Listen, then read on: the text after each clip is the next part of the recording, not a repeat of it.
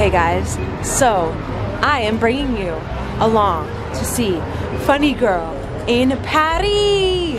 So I just kind of was looking up different shows that were going on in Paris. I've always wanted to go to the Paris Opera, but whenever I come to Paris, for some reason, the opera's never on and the ballet's never on. But I did see that there was a production of Funny Girl happening with Christina Bianco, and I was like, yes, I'm going to attend this show. So I'm so excited. And we are here at the theater. Let's go.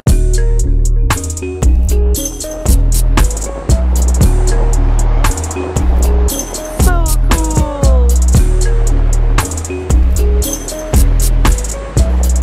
So guys, I don't know if you know, but Funny Girl is one of my favorite movies ever, Barbra Streisand. So I'm so excited to see this stage production. I've never seen the stage production, so I'm just super excited.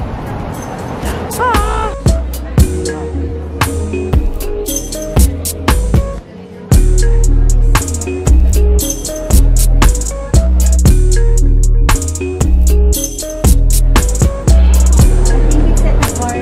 Yes.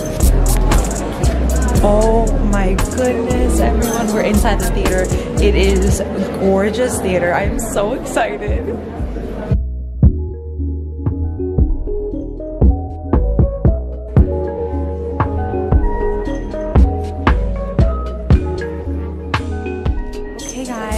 Show is over. Oh my gosh, it was so awesome. I've never seen Funny Girl actually on stage, only um, the movie, which I'm I love, and I loved the stage version so much. Uh, Christina Bianco, who played the lead, was amazing, and now we're going to head backstage and actually go meet up with her. So I'm super excited about that. Um, but it was definitely awesome. So if you are in Paris up until March, you should definitely come check this out.